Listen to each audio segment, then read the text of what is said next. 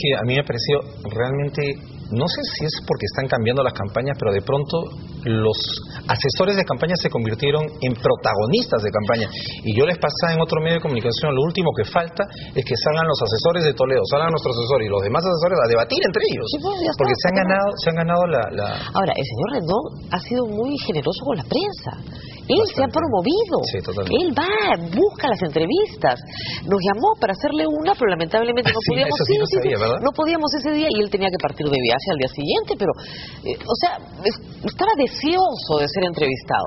Es un poco raro, ¿no? Sí.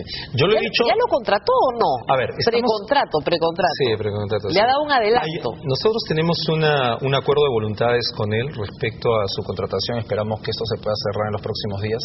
Pero ten la seguridad que uno de los puntos que vamos a poner en el contrato final es que eh, el tema de las declaraciones no sea parte pues de la asesoría. Porque sinceramente, si los asesores van a comenzar a declarar, de pronto se va a convertir esto en una campaña de asesor y esa no es la idea. La idea es que sea la campaña presidencial de idea y debates de, la- de los presidentes, de los que van a ser, los que quieren ser Claro. candidatos a la presidencia.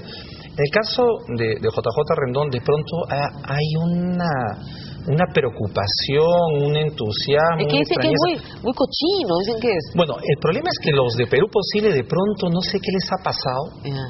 Toda una semana se han dedicado a hablar de JJ Rendón. Yo no sé si le tienen miedo, pavor, no sé qué ha pasado No, ahí. es una persona media rara, ¿no? Se, Pero- se viste raro, ¿no? Está bien, está bien que él esté emulando a Matrix, no sé qué está haciendo, no sé, de acuerdo, pero... Pero es su plata, señor. Usted la gasta como usted quiera. No, pero además lo otro es ¿Cuánto que vale, eh? lo- ¿Se todavía no hemos cerrado, todavía no hemos cerrado con él, pero lo que te puedo decir es lo siguiente. Yo ¿Cuánto creo que- vale? ¿Cuánto le cuesta? Mira, lo que caracteriza a JJ Rendón es que es un asesor exitoso.